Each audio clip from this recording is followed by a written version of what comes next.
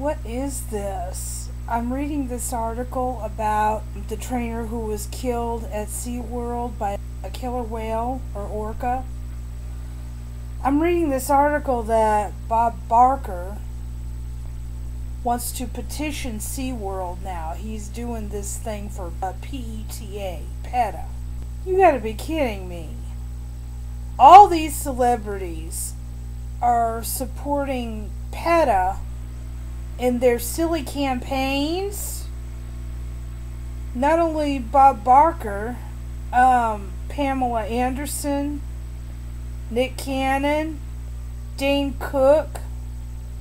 All these people are supporting PETA. I don't understand this. PETA is dumb. PETA doesn't deserve to live. I mean, we're talking about an organization that wants to promote renaming fish sea kittens.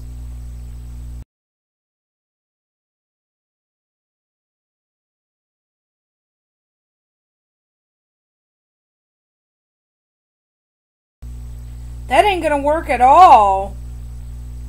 I mean, really, who wants to change the name of fish to sea kittens? Nobody but a dumbass PETA supporter.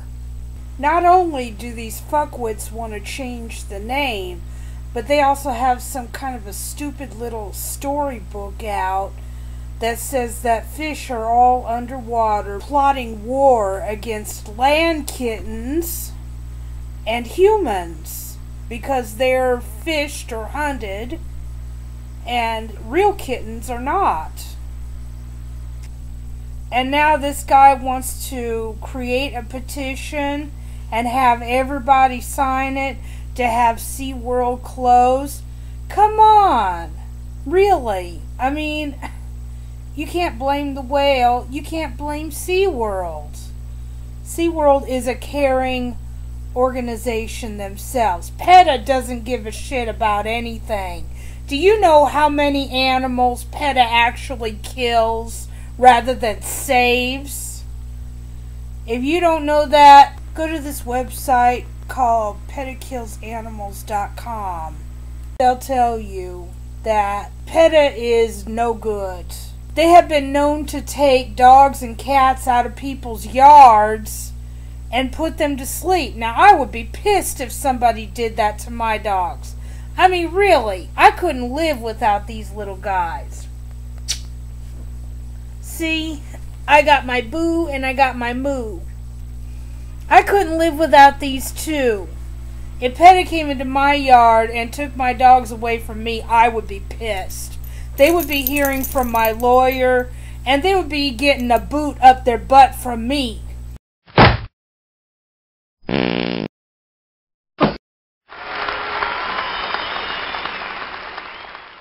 I don't care about PETA up one way or down the other.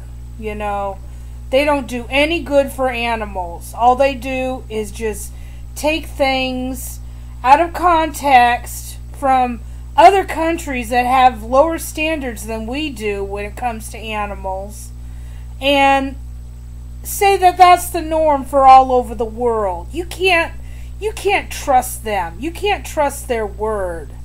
And here I'm reading a lot of people are saying, well, we got several people here that agrees with PETA. They want to close SeaWorld and turn it into some kind of a marine uh, sanctuary for animals. And I don't understand that. Okay, here's the thing. Animals that are raised in captivity they aren't going to be able to survive out in the wild. I don't care how hard you try to train them. Killer whales, especially, they're like humans.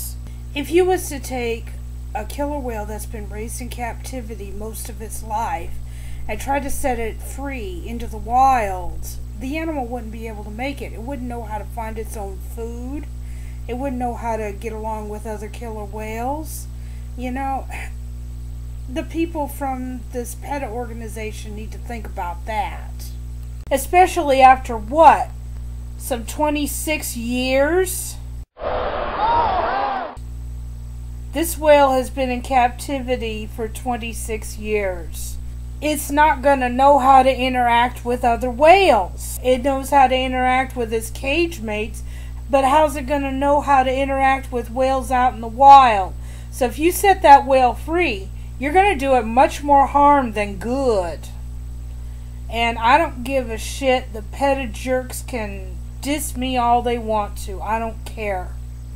I'm just saying what I feel. And I feel that releasing that whale into the wild again is going to be one hell of a serious mistake. And it shouldn't be done. Just keep the animal and don't use it in shows. It obviously does not want to perform, it does not want to be around people. Okay? So do like this one theme park was going to do. Just keep the animal for breeding. And I, I see one guy on this list who's saying that they're called orcas, not killer whales. Um, excuse me, is there anybody home?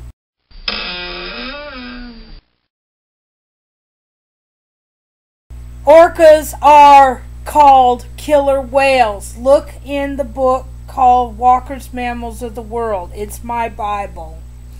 I learned a lot about animals when I was going to middle school and high school through that book. And yes, the proper name for them is killer whales.